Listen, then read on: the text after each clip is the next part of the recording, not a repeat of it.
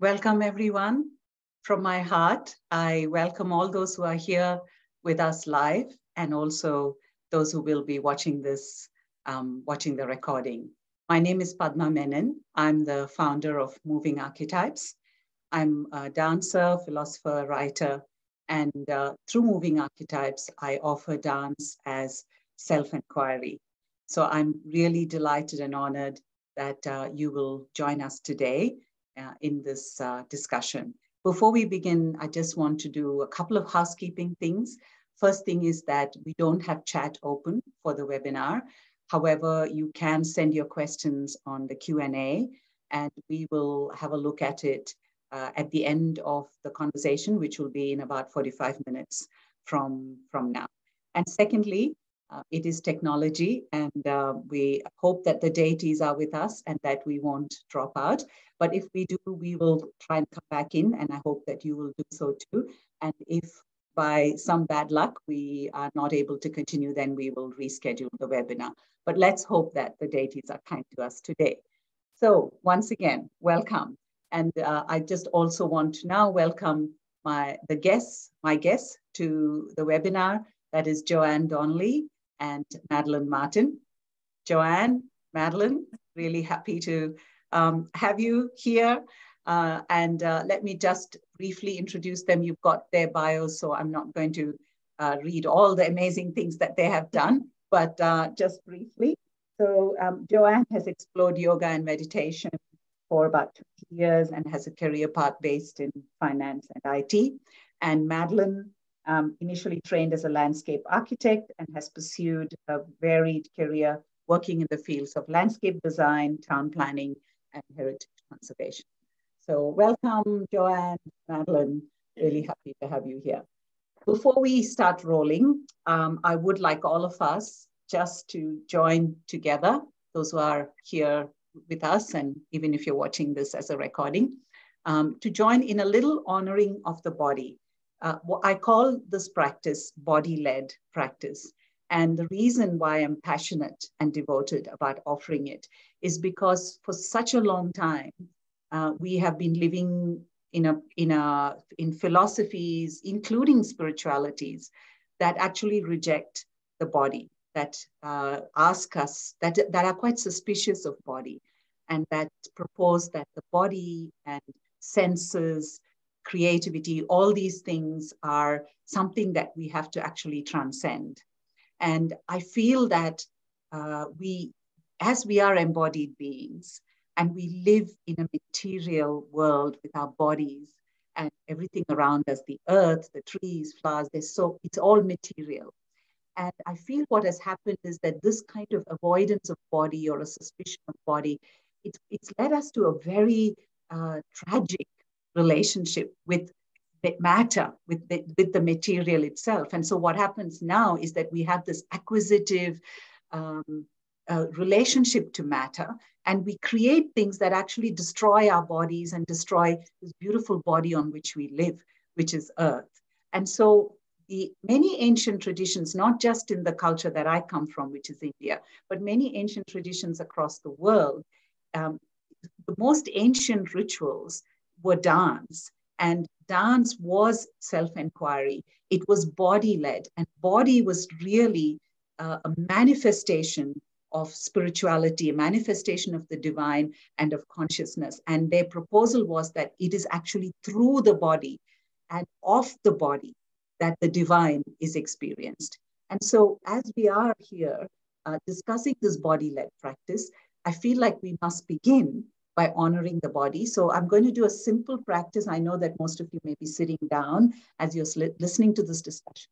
So if I was in the studio, we, I might suggest that we stand up and do something, but let's just do it as we're seated. So just simply, please join me. Um, just drop into your feet. Open the feet to the floor, however you're sitting. If you could just bring your weight over into the feet press the feet into the floor.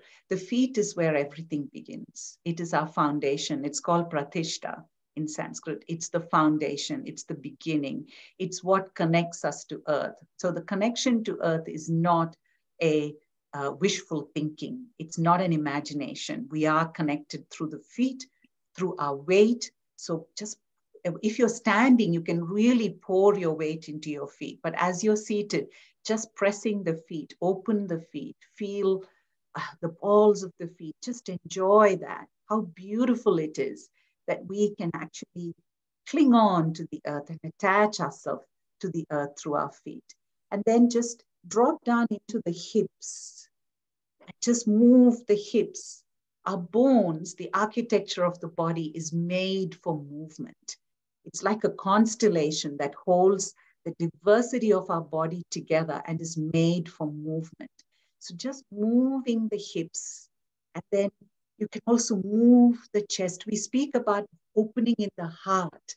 And that's my invitation is please listen to this conversation, not through the head, but through the heart. And as I say, we, it's not about sense making, but sensation enjoyment. So it's the heart that, and how do we open it? By lifting that chest, that spreading the chest, opening the chest to the sky, and just moving our shoulders and our elbows, our wrists, our fingers. Look at the richness of movement in our body. There's so much movement that's possible. And just gently, however is safe for you, just moving the head and just breathing. The luxury of breath. We don't need to count the breathing or control or do anything. Just allow a couple of breaths.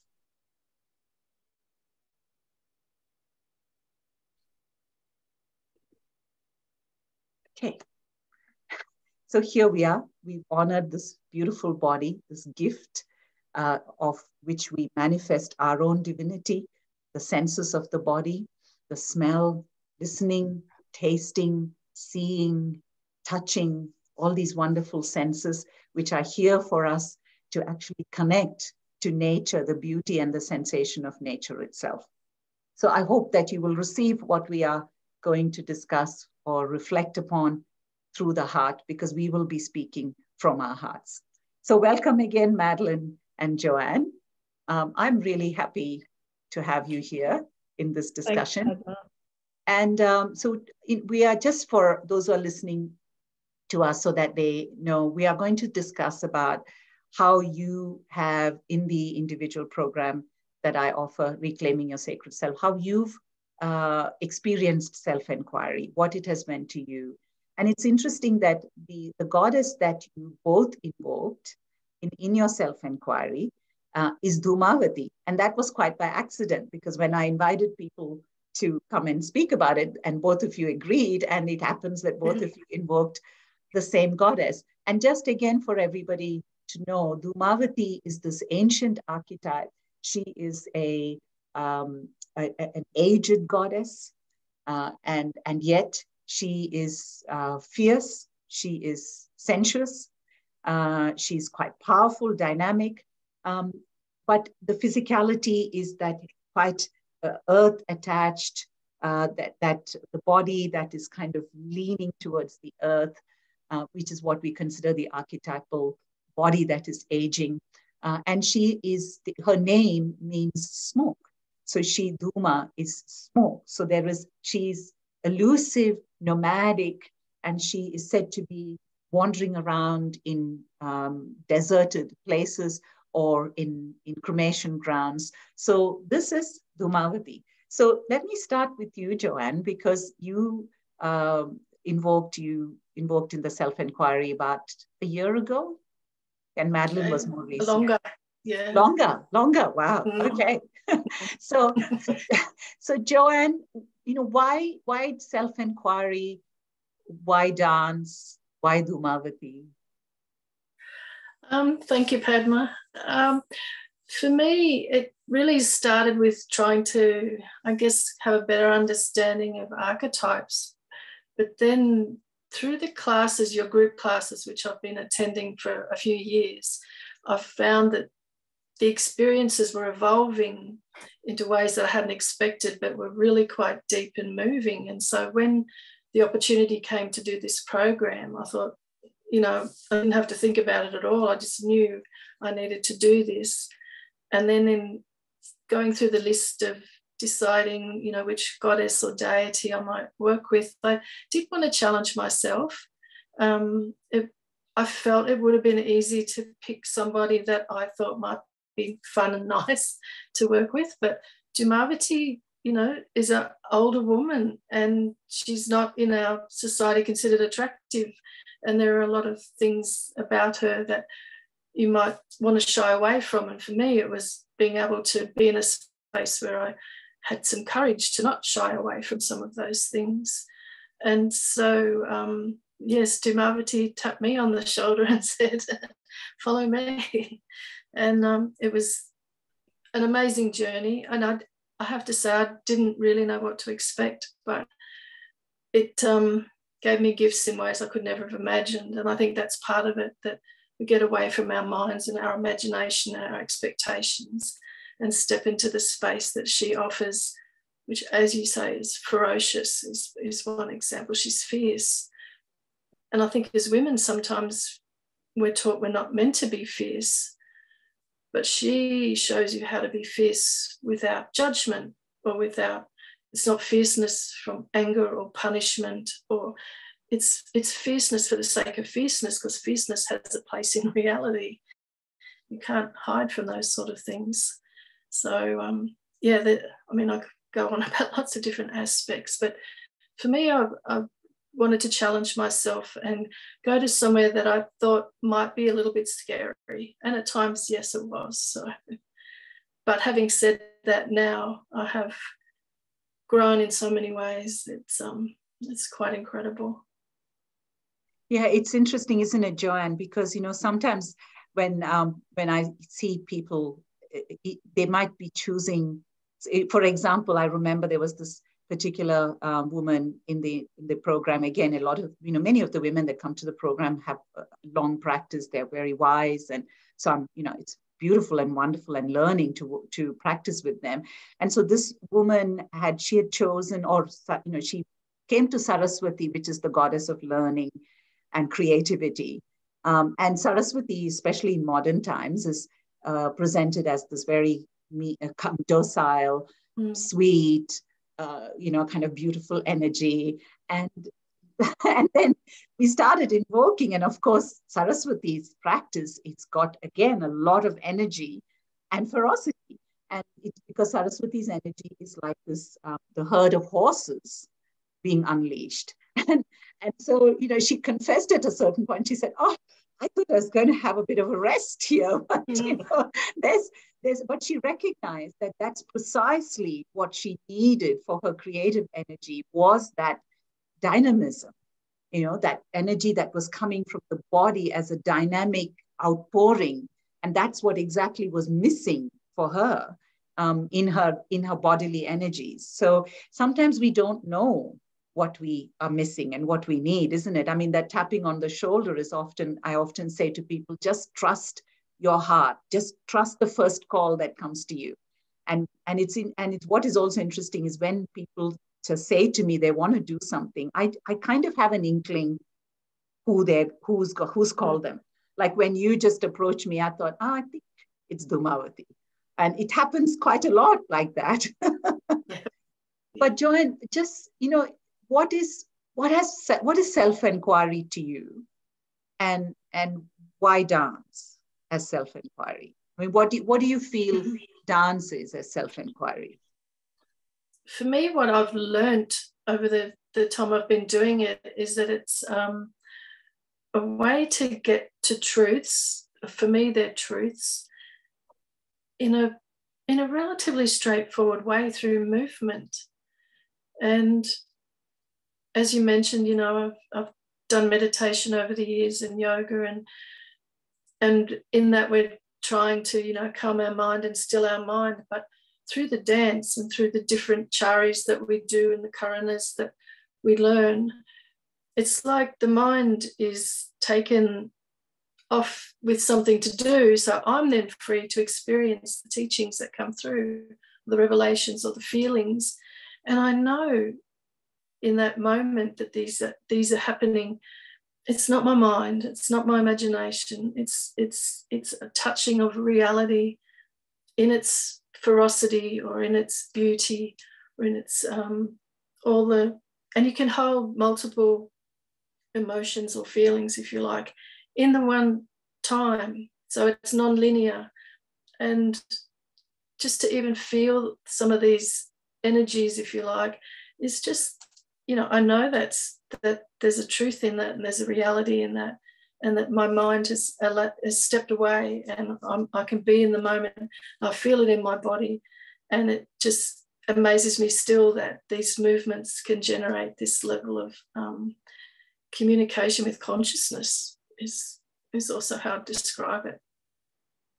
Yeah, that's that's beautiful. Actually, that's beautiful, and and I really love how you perceive the movement of the mind um, and that is something I hear a lot, and that's what I sense in the dance too. Is that you you begin to have a really bodied uh, sensation of where the, the mental consciousness is coming in and what what's going on, that interplay, and you really can kind of figure out when is it body led. And because sometimes people say to me, "What do you mean by body led?"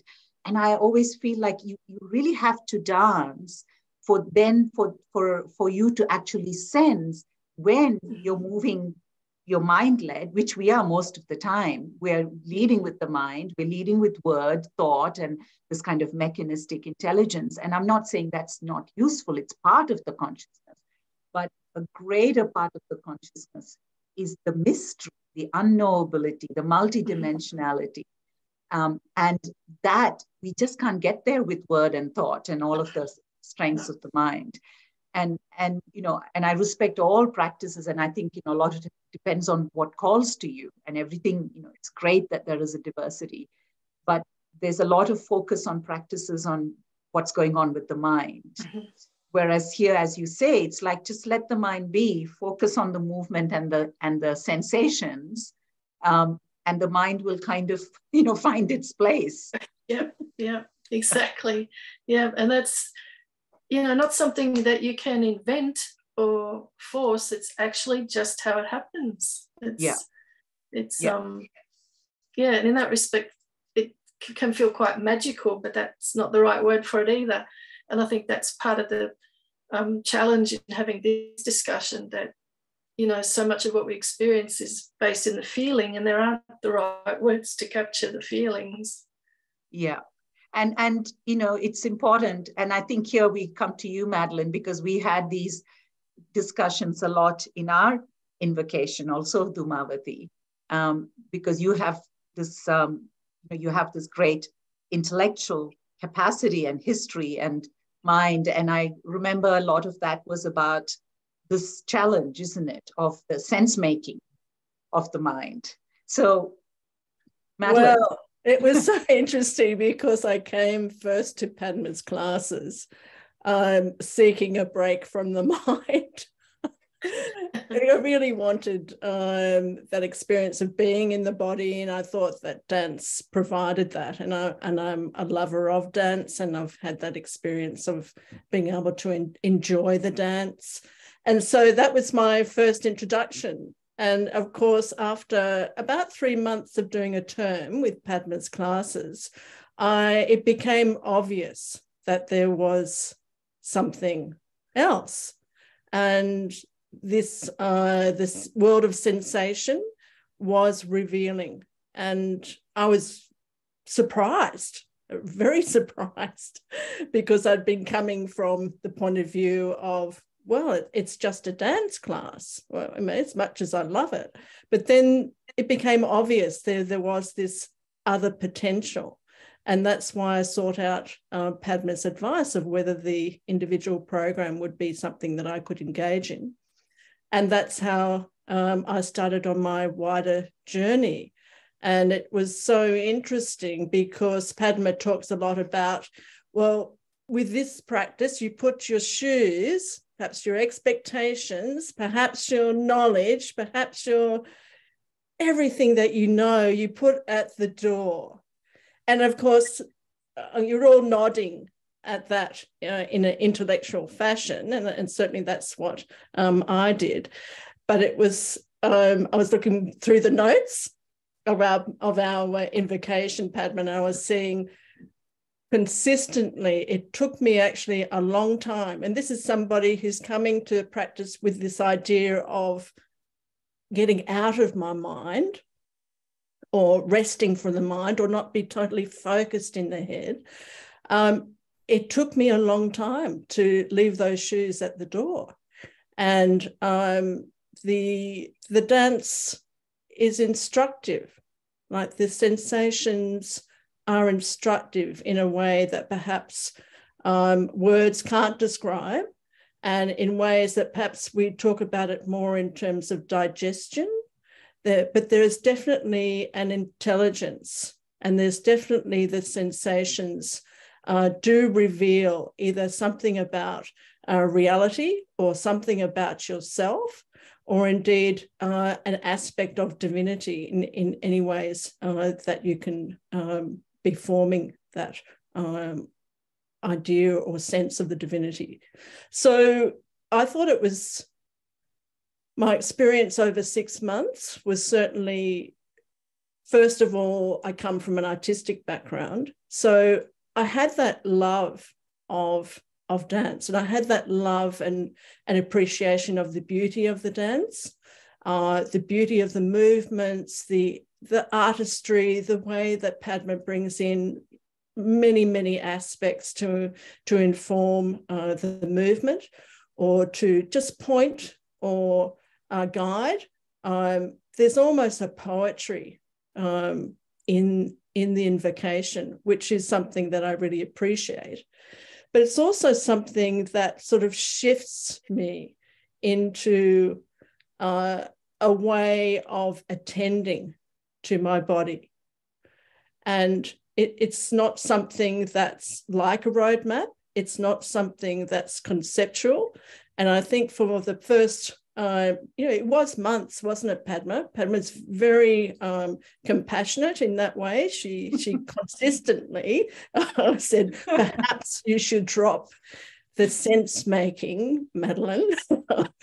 and but it was hard. And perhaps it was because there was a bit of reaction to, I don't understand, or this is the way I usually approach things. And so there was a, a bit of unfamiliarity, a bit of uh, perhaps unease uh, about the process. And, and that taught me a lot about myself as well. The fact that I perhaps hold on to these constructs to make me feel at ease or I hold on to these constructs to find meaning. Well, here was another opportunity.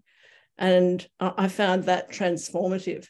That that transformative aspect is actually to bring your attention to the body.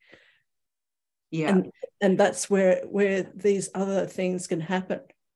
Yeah, beautifully. I mean, that attending is um, really the word that is used in the practice as well. It's uh, the whole thing is about the attending is the being is the dancing.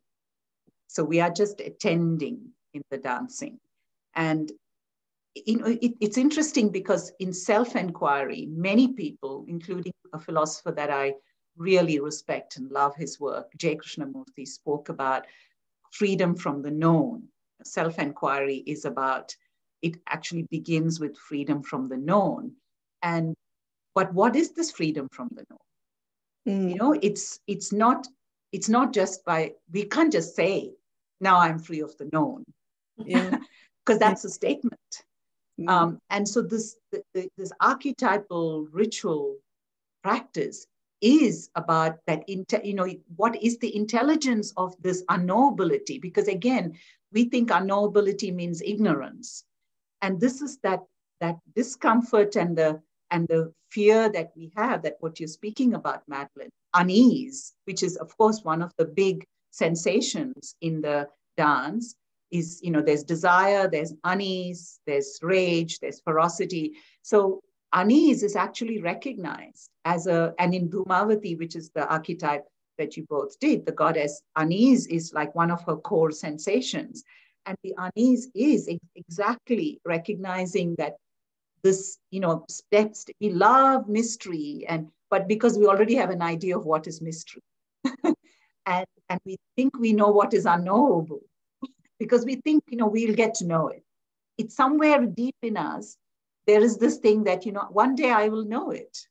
But to mm-hmm. really surrender that this is, you may never know it. And the unknowability is the dance, is the sensation, is the deity. And there is an intelligence in that and a dynamism in that you know so that's that's that unease i think that you know we we encountered madeleine and and joanne too in the in the invocation.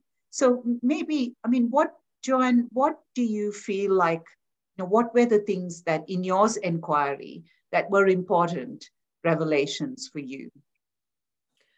Um, there were a few padma and i'm thinking now you've jogged my memory that a mantra for me going through the program was I don't know, I don't know. And I used to say it over and I don't know until it, I actually felt it was okay not to know. And that, that was a big step forward um, because, you know, I like to know. we all like to know. But um, there's a, a freedom in not knowing because it allows solutions to come that you wouldn't have thought of yourself. So that was a big a big plus. Um, another one that came through for me was around uh, attachment or what non-attachment meant um, through a particular goddess called Jyeshtha, who I thought looked initially fairly placid. and she gave me a big nudge and um, taught me that being unattached or non-attached, however you want to think about it, didn't mean that all of these things had to disappear from your life.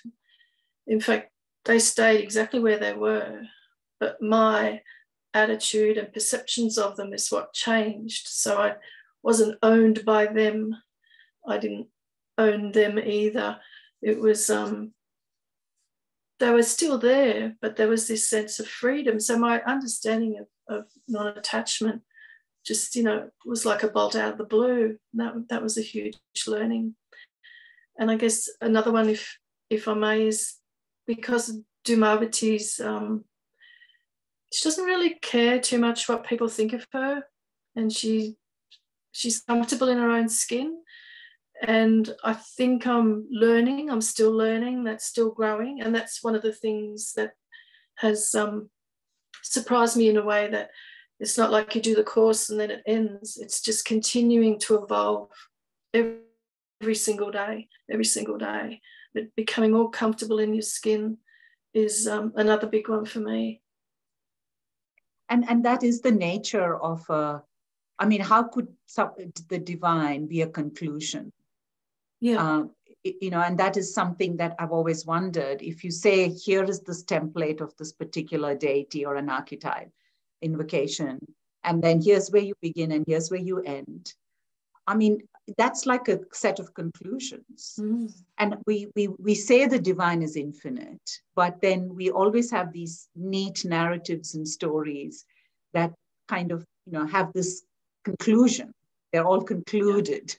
Yeah. Um, whereas the, in the dancing, I, I always felt there was this, this openness that it, it, changes and it reveals. And then you, you know, you find that the same um, deity has these other dimensions that start, yeah. and that's why you know, for and again for the way that you invoke Dhumavati Joanne is very different to how it, it unfolded for Madeleine, mm. and it's because it's also because it happened at two different times. So I think when Joanne, when you started, um, we were still doing in the studio, and it was yeah. you know right at the beginning of the, the time the world changed a couple yes. of years ago, 2020-ish. Mm-hmm. Um, and then by the time Madeleine did, we were in a very different world. It was a world that was quite, you know, there was a lot more chaos and confusion. And um, and I felt like in, in many dimensions, there was a much more a personal revelation of Dhumavati to Joanne. You know, it came in a much more personal way. Let me just, you know, if, if you if I may give the example for for mm-hmm. example, the practice of dissolution and ending death ending, which in Joanne's case, it came as Makara, the crocodile or that sea, sea creature that's in the underwaters, which is a much more kind of um, interior, more intimate. And for Madeleine, the way that same dimension um, was, you know, was I, I was guided to was the practice of pralaya, which is the big flood, the great flood. So there was a kind of this more macrocosmic dimension. Mm-hmm. And because we were in a different time, we were in this time, which, you know, you could say in an archetypal way, it was a bit like the great flood, this big change and surge. And, and so this, you know, if we can just be prepared for not concluding, as you say, Joanne, that's where I feel that the infinite possibilities happens. Yeah. Again, we want the divine to have it, no, to hold infinite possibilities for us. But at the same time, we say, give me a conclusion.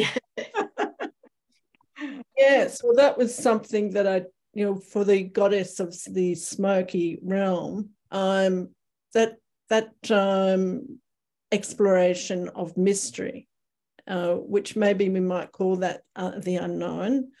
Um, and even that is a bit in relation to known, but um, unknowable.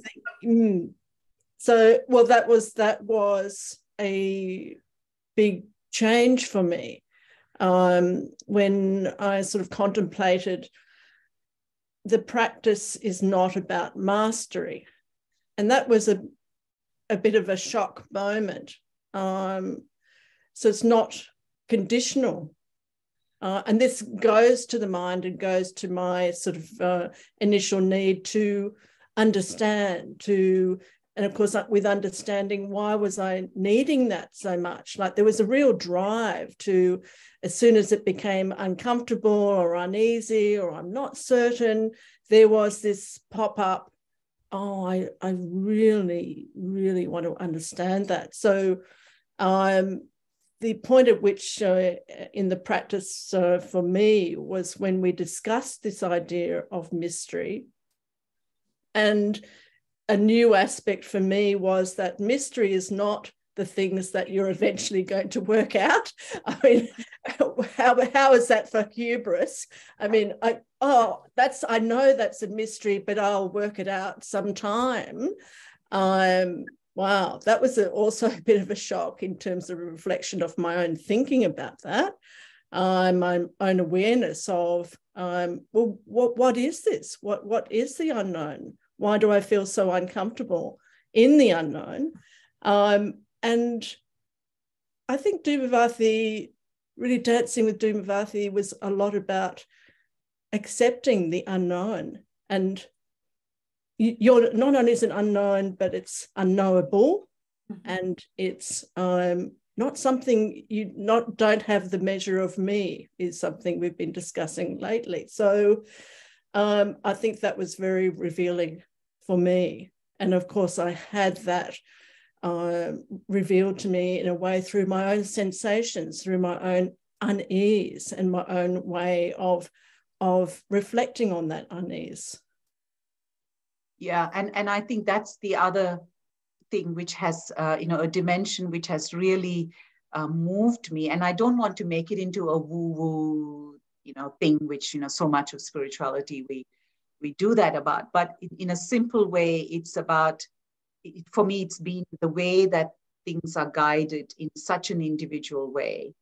And, and it makes me realize why things of self-inquiry were these kind of intimate practices um, because it's so individual because each one of us is so unique and it is that uniqueness that makes us it is through the uniqueness we connect to our primordiality. So this is the paradox. And of course, all spiritual practices, you know, at the heart of it is the paradox. And the paradox is that it is through our uniqueness that we become cosmic, we become universal and primordial.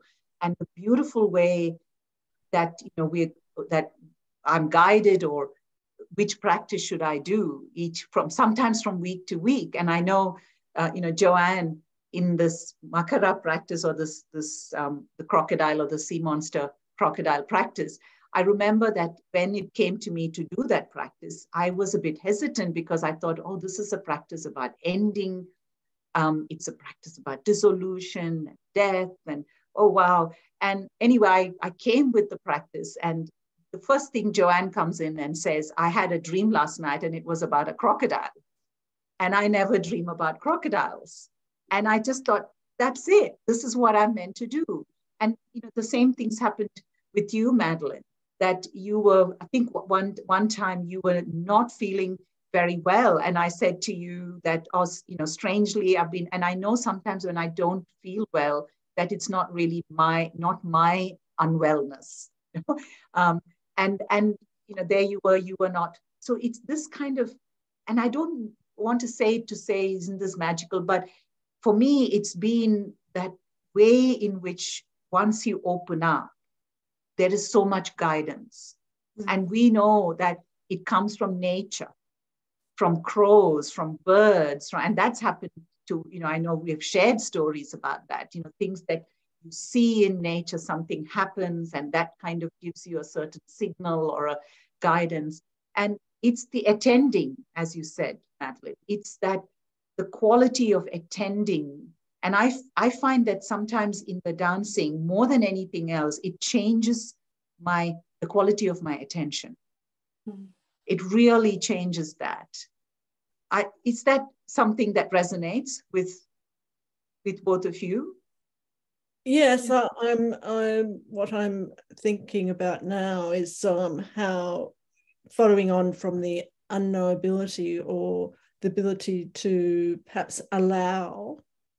Um, there were some movements that automatically, you know, different sensations arise.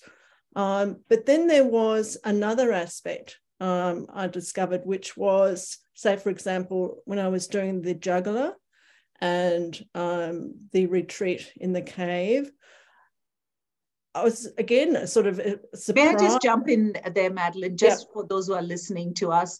Um, uh, or just by the way, if you do have questions, you know, you can please share with us on the Q&A. Um, we've got another sort of five, five, or so minutes and then we'll open for questions. But um, just on Ma what Madeleine was mentioning, just for those who are listening, the juggler practice is uh, again a, an architect goes to the, the quality of it's the invitation of how do you hold these practices? So you hold it with the kind of sense of humor playfulness um, and you know how the jugglery is always that multidimensionality. How do you hold all these different emotions sensations realities all in the same moment? So that is the juggler practice. And and uh, that's what madeleine's talking about. Sorry madeleine.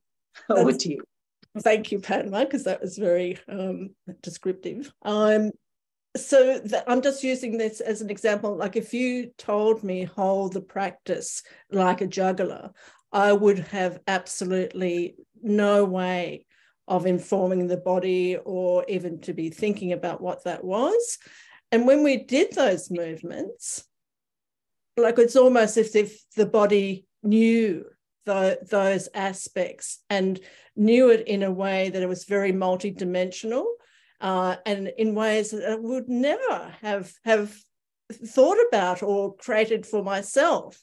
The actual movements um, informed a whole other appreciation of, of, how I was dancing and how I was approaching um, aspects of, of the practice that we were going through. So I thought that was another you know, it, it, it's an intelligence of the body that is really being revealed there.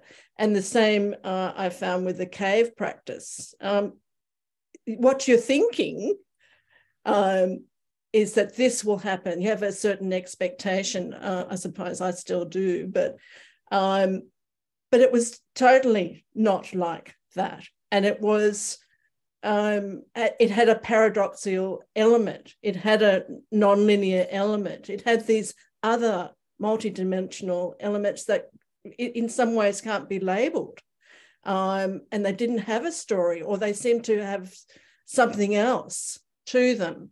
And I think um, that also informed my attention. Uh, the the there's another aspect to this attention.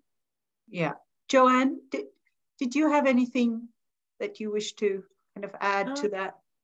I certainly agree with with the way Madeleine's described it, and I can recall now doing movements, and as you say, being fully attentive to the movements allows the body to almost. There were times when it felt like remembering, mm. and I know there were times, and it might sound a bit weird, but it was like my DNA was being activated in some way that I didn't understand, but things were happening on a cellular level that were also happening on a kind of a bigger cosmic level. And you could just exist in both places at the same time. And that's um, huge. And again, not of my imagination. It was it was the the feeling that the that was the body doing its thing in these in this dance practice.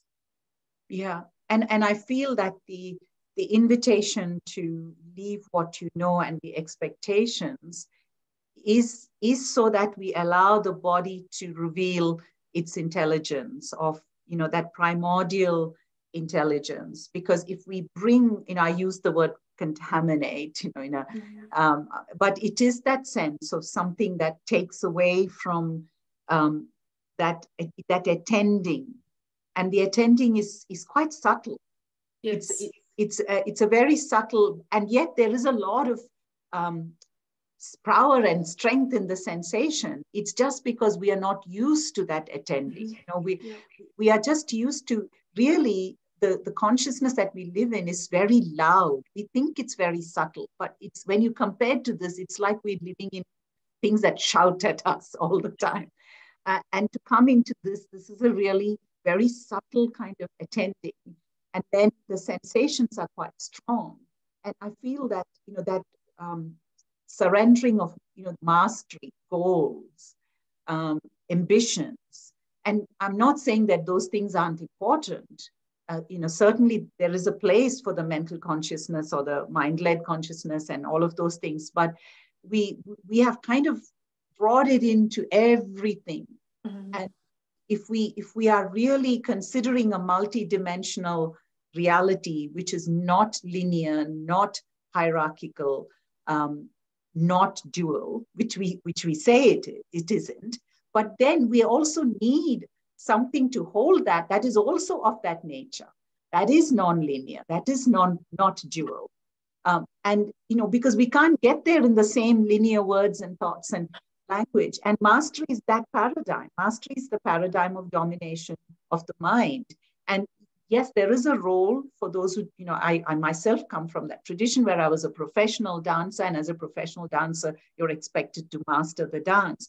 But in, in the 40 years I've been dancing, you know, my whole movement has been towards how is this dance a practice of consciousness? Because we say it is, but how does it truly become this practice? And then it's been really revealing this nature of when does the dance become a ritual or a practice of consciousness. And things like mastery really are not relevant in this space. It's that freedom from goal and mastery um, that, you know, when we all want freedom, we talk about moksha in, in Sanskrit and know, we want freedom, but it is freedom from these kind of paradigms of mastery, goal, approval. And Dhumavati is so much about that. You know, when Joanne, when you said, I don't care, um, and that is that Dhumavati, it's not like, I don't care, I'm going to be, you know, here to disturb you, but mm-hmm. your approval doesn't matter to me. yep. I don't, I don't need your affirmation or approval. And that's yep. such a beautiful space of existence. Yeah, it's very yeah. much. Yeah. Another aspect I was thinking of when you were talking there, Padma, was um, you know this subtlety, this other way of attending. Uh, it's also the simplicity. Yeah. Uh, and I appreciated that a lot with the Yakshi practice. Um, just bringing your attention, it's, it's more so Can I just jump in just to say the Yakshi? Sorry, yes. Yeah, so the Yakshi is again very much, just for those who are listening, is very much a quite a, a, a universal theme across many of these uh, archetypal goddesses. Um, and she is that aspect of the goddess that is a combination of sensuousness and ferocity, and very much aligned to trees and nature. So that is Yakshi. Sorry, Madeleine, continue. Thank you, Padma. Uh, so the proposition seems simple. You, you even uh, I begin to reflect on how instrumental I am with my own body. I mean, it, they, can, they can be simple things like that, like do I tend to my own body? Um, do I what do I expect my body to do? Ha, have I ever thought about the body for the mm. last 60 years? No, I have not. Have not. Um, so it's those aspects as well, those rather simple, really quite fundamental uh, reflections that can then sort of take you on, on a whole other unfolding journey and relationship with your own body and with the way that you're intending in the dance. Yeah, and I, and I, you know, I think it's absolutely true because I've just been uh, just before this webinar, I was um, invoking Saraswati with uh, one of the women, and you know, we were looking at the practice of that attending to the body, that ceremonial attending to the body, and um, it's the body as the as the ritual archetypal body. And that's the beauty of it. So it's not again because we leave the myness at the, as in M Y N E S S, at the doorway, because that's part of the story of you know, I, what we know about me is also to be left at the doorway. And, and again, I just want to say that when I when we say leave at the doorway, again, that's not conclusion but we will constantly, as, as Madeleine found, we constantly keep on leaving it at the doorway because nothing is concluded here. Um, and that, um, and so the, then the body is the body that is like the tree. So Yakshi is the tree as well. She's the dancer in the tree. And so the, the, the body that the mind hasn't created, that we haven't made a story about, but just like the tree, the body that is just what is the primordial body, the archetypal body, the ritual body, and the body that has the feet that can stand on the ground, you know, that has senses. Uh, this, this is the invocation of the body. And this is the, the simplicity of it. It's that simplicity of here we are, this body that stands, that has bones, that like just the honoring that we did, that has bones that move, that has these senses, that has these intelligence of digestion, intelligence of respiration, intelligence of creativity. It's all there. And but we all kind of integrate it into this kind of an inert body almost. Mm. You know, which is infused with consciousness from somewhere else. yeah. Whereas in these ancient traditions, it is through the body that the consciousness is here expressing itself. Mm. It's infused. Even the ancient deity Vishnu, the name meant infused in, that which infuses itself or pervades within form and matter. And, and I just feel it's so important that the divinity of matter and body is so important for us. And, and I feel that this distorted relationship we have with matter and, and which we have with the earth, which it's, I, just feel it begins with the body because when we don't honor the body, I sense that we won't be able to honor earth. And I mean body in that archetypal sense, not my body, your body, but body in that archetypal sense, then it's, I don't know how we can honor earth and nature and, and how we can have a, a, a mature and intelligent relationship with materiality which we all are here. so yeah. I, I might just see if we have any um, Q and A's. Let me just have a look. Uh, oh, uh, can you? Okay, so this is uh, someone, Nikki, just asking me about uh, information about what I offer. So Nikki, uh, what I'm going to do is I will uh, send you my, um, I will send you my website and you you may find more information about the work and what I do on that website. And on that website, you'll also find links to my Facebook channel, my YouTube channel. So there's a plenty of information. There are blogs there, Nikki. So you'll find rather than me going through all of this here, but you'll find plenty, plenty of information. Um, and you can have a look at the blogs if you're interested in the philosophy of um, whatever it is that we're talking about. I know you were a bit late, so you missed the introduction, but you're very welcome. Go and have a look at those um, that information.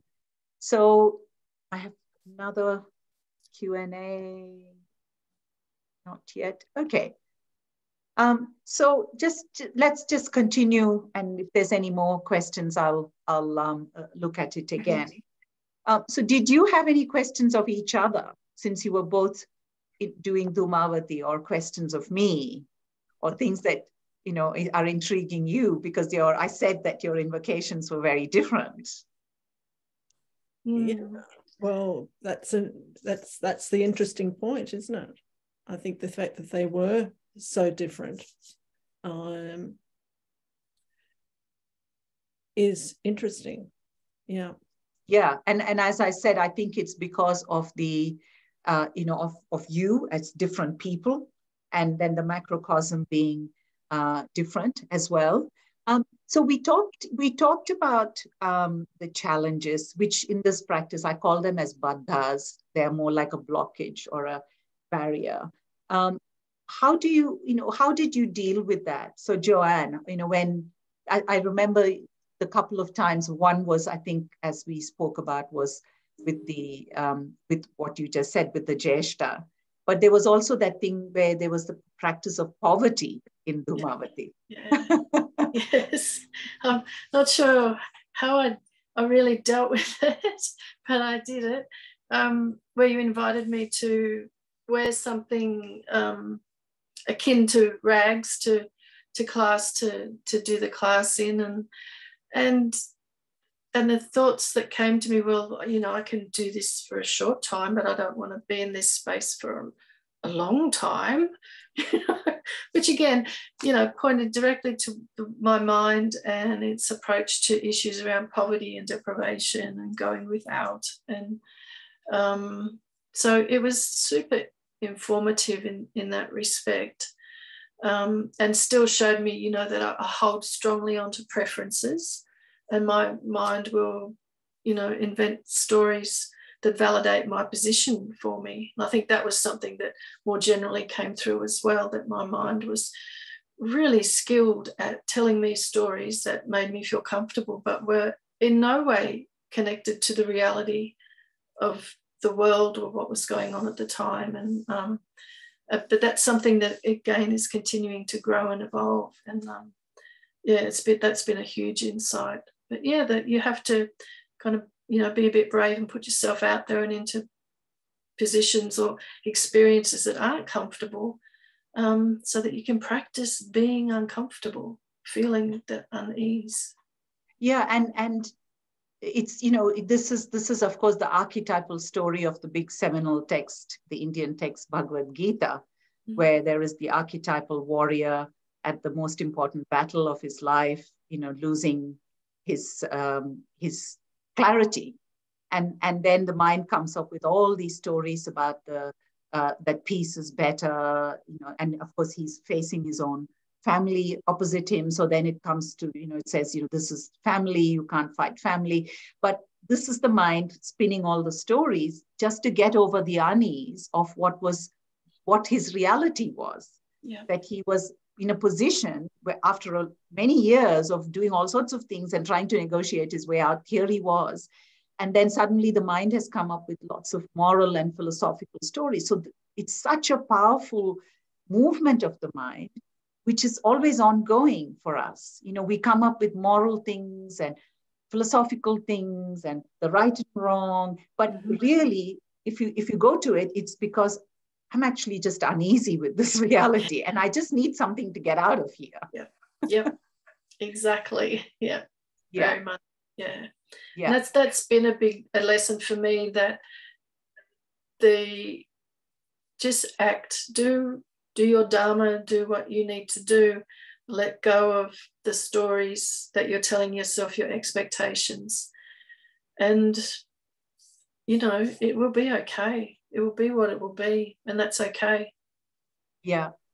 And and I think for me, when when you come into these sensations through dance, like unease, and it's not a theory. It's not like oh, no. even even it's not even like reading the Gita, which I love, and you know I, it's been such a guiding text and an archetype for me. But in a certain way, it's my experience in dance that really brings life into that text, because it's like you sensed, you felt the ani Yes. And it's not just the theory of you know here's what will make you uneasy.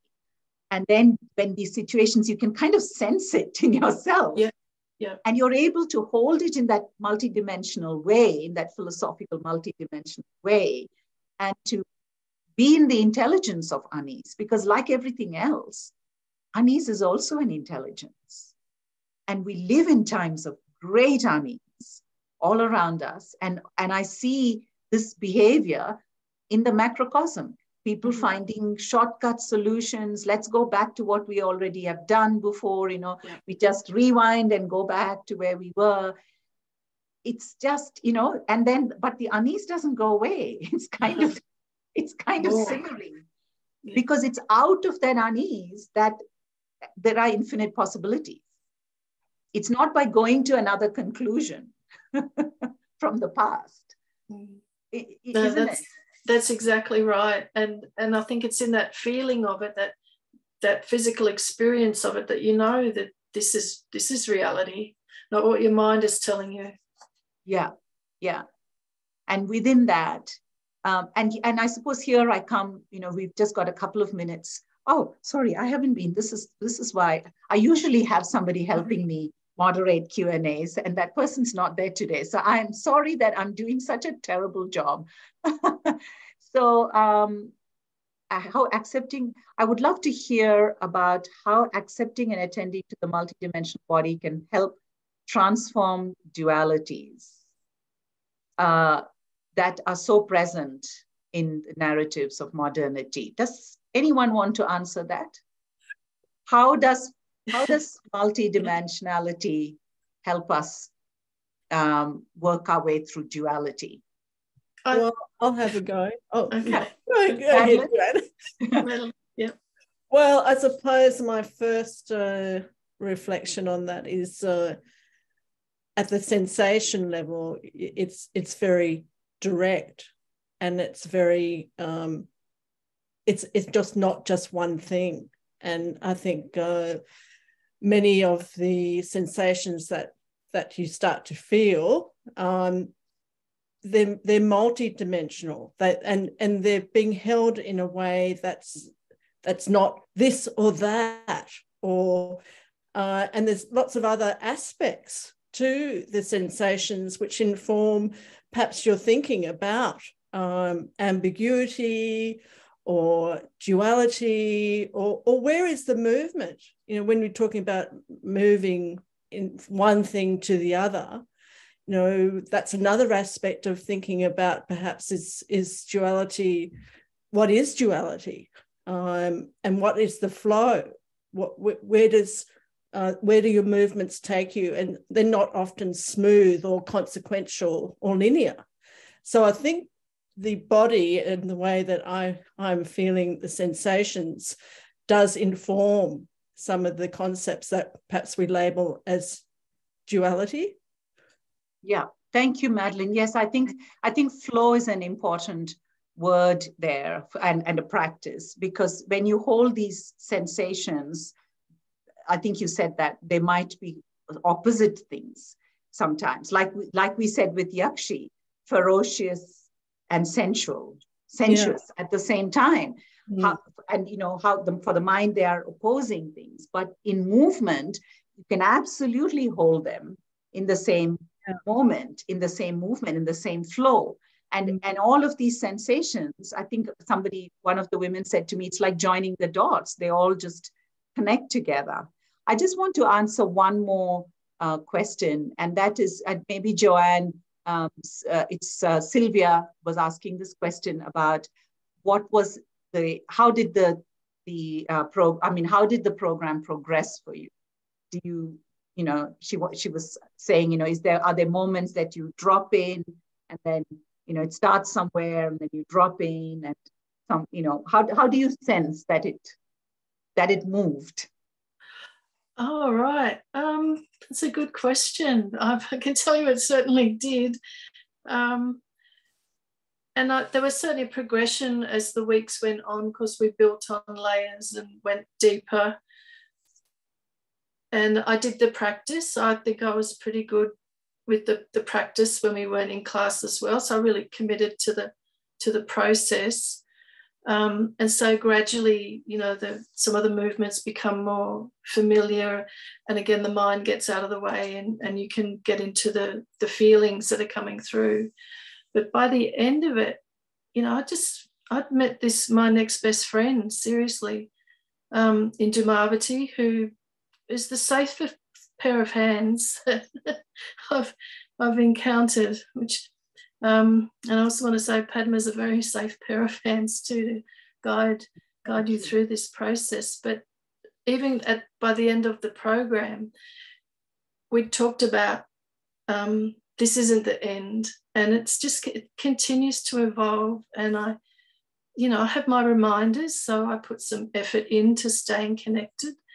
Um, but there's also times when you know she'll just pop up and there'll be the sign that we've talked about you know a crow appears or you can hear a crow you don't even see a crow or smoke. I often smell smoke when there's none around that i'm aware of but you know so these little things come to you and it takes you to you know just just feeling her energy and all that she has to offer and it just continues to grow and i suspect you know it's probably it is different. We know it's different for both madeleine and i so probably be different for sylvia too but um you just yeah. go with the flow. Yeah.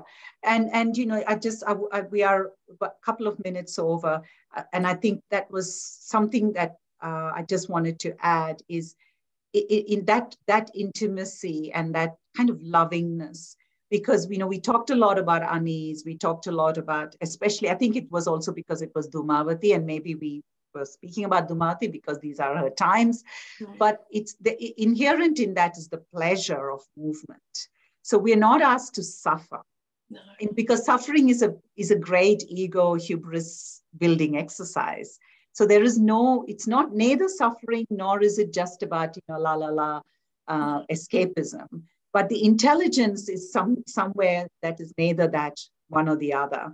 And in that is that pleasure, which is, you know, called that soma, which is inherent in that's why it's a creative artistic expression. Because in the movement, in this beautiful invocation of these archetypes, that's why it's so important.